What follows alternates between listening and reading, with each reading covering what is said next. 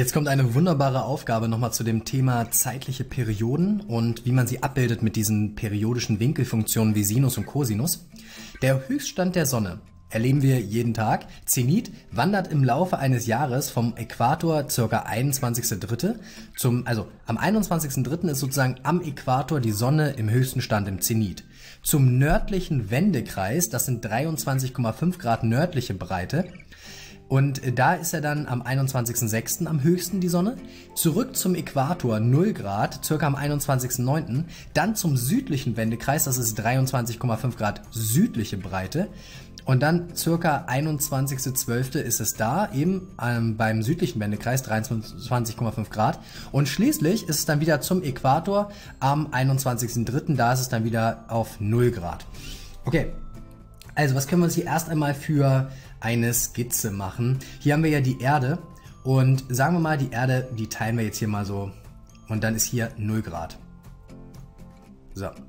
Und von der Höhe her hätten wir jetzt hier nach oben hin nördliche Breite 23,5 Grad. Ist dann hier 23,5 Grad. Und theoretisch hier nach unten, da, das bezeichnen wir als minus 23,5 Grad weil es einfach südliche Breite ist, nehme ich das jetzt als Minus. Und somit haben wir dann jetzt hier unsere, äh, unsere 0 Grad und theoretisch, wenn man sich jetzt überlegen würde, dass das eine Sinusfunktion ist, dann würde diese Sinusfunktion jetzt hier, keine Ahnung, vom Äquator her, ähm, die würde dann ungefähr dann so laufen. Was haben wir beim Äquator? Beim Äquator haben wir die 0 Grad, die 0 Grad, das heißt vom Äquator. Und dann geht es vom Äquator zum nördlichen Breite ist es dann erstmal hier am höchsten, dann geht es zurück zum Äquator und dann geht es runter zur südlichen Breite und dann wieder so hoch. Okay, also und dann landet es wieder beim Äquator. Das wäre so eine Periode, wie die Sonne laufen würde und wo die Sonne eben ihren höchsten Stand hat. Ich finde das mega interessant und wenn man das hier jetzt schon so sieht, dann sieht man schon, dass das so eine Art, dass es halt eben so eine Sinusfunktion ist. Aber hier ist jetzt noch angegeben, dass wir vom 1. Januar jetzt ausgehen sollen bei der Modellierung unserer Funktionsgleichung. Okay, erstmal würde ich gerne die zeitliche Komponente hier ausrechnen. Das ist unser Omega. Dieses Omega äh, berechnet sich immer durch 2Pi durch T. Ist gleich 2Pi und das T sind hier 360, äh, 365 Tage, also ein komplettes Jahr. 365 Tage. Hat ja ein Jahr meistens, also gut, gibt manchmal Schaltjahre oder so, aber wir rechnen jetzt mal mit 365 Tagen. Ähm, und ähm, ja, was kommt da raus? Wenn man das jetzt in den Taschenrechner eingibt, kommt daraus 0,0172 Tage pro Tage sozusagen. Ähm, ja, das nimmt man jetzt erstmal einfach so hin. Das ist die zeitliche Komponente und das ist in unserer Funktion hier das Omega. Jetzt können wir aber noch mehr Sachen eigentlich schon hinschreiben. Wir haben hier A, das ist die Amplitude. Wir haben um 0 Grad geschwungen, symmetrisch. Das heißt, eine Amplitude hat 23,5 Grad. Also A ist gleich 23, 23, obwohl das kann ich auch so, nee, egal, mach ich nochmal neu. Also A ist gleich 23,5 Grad. Da haben wir A schon mal, das ist der, die Amplitude, sieht man hier wunderbar. Ist nach oben und nach unten hin jeweils 23,5 Grad.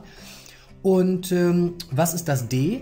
Das D ist die Verschiebung in Y-Richtung. Wir haben ja hier um 0 rum symmetrisch geschwungen, also ist D gleich 0. Wir haben also keine Verschiebung in Y-Richtung. Können wir auch hier schon hinschreiben.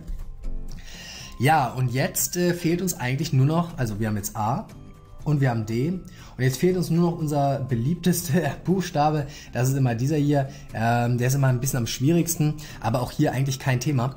Denn wir haben ja hier bei 0 Grad sind wir am Äquator. Am Äquator sind wir am 21.03.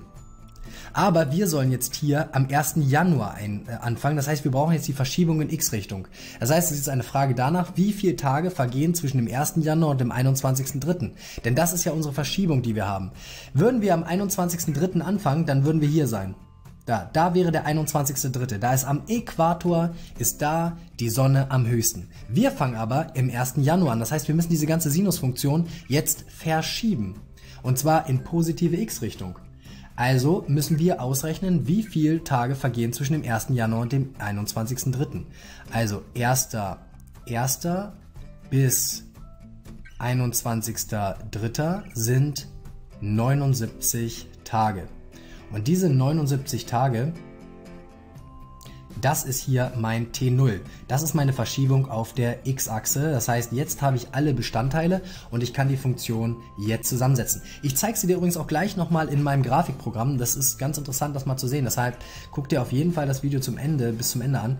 Also wir haben hier f von t, also eine Funktion, die abhängig ist von der Zeit, ist gleich 23,5 Grad, das ist unser a, mal Sinus von ähm, Omega, achso, ne, Omega wollte ich ja, habe ich ausgerechnet, kann ich einsetzen, 0,0172 pro Tage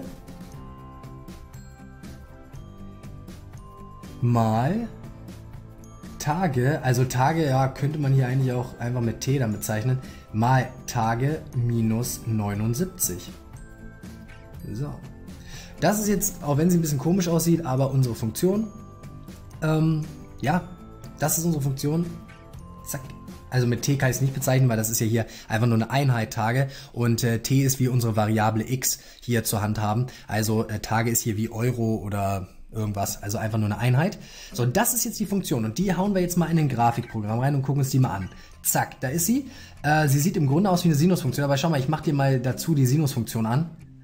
Die ist viel, viel kleiner. Das liegt natürlich auch an der Amplitude. Hier haben wir einen Faktor von 23,5. Das heißt, diese äh, orangene Funktion ist 23,5 mal größer von dem Ausschlag her als unsere Ursprungs-Sinusfunktion. Deshalb, äh, ja, äh, macht das natürlich Sinn. Also die brauche ich jetzt hier nicht weiter einblenden, die kann ich äh, sicherlich wieder ausblenden. Aber was äh, sagt uns hier diese Grafik? Die sagt uns hier, dass am 21.03., das ist ungefähr hier, das ist 0 Grad, da sind wir am Äquator. Ah ne, Moment, äh, 21.03. Achso, ja genau. Das der Sonnenhöchststand ist hier am Äquator am 21.03. Der Sonnenhöchststand ist nach, keine Ahnung, 100 und ein paar zerquetschten Tagen, ist der hier beim äh, nördlichen Breitengrad, 23,5 Grad. Und dann wiederum im, keine Ahnung, nach 312 Tagen oder irgendwie sowas im September ist er dann angelangt beim südlichen Breitengrad bei minus 23,5 Grad oder beim südlichen Breitengrad eben 23,5 Grad. Und so sieht man, wie die Sonne immer ihren Höchststand hat im Verlauf des Jahres. So, dann ist das Jahr vorbei bei 365 Tagen. Dann siehst du, ist er wieder am Äquator, äh, beziehungsweise dann ist das Jahr vorbei. Nee, dann ist er nicht am Äquator. Ähm, doch, hier ist er am Äquator wieder, nach einer gewissen Zeit erst dann.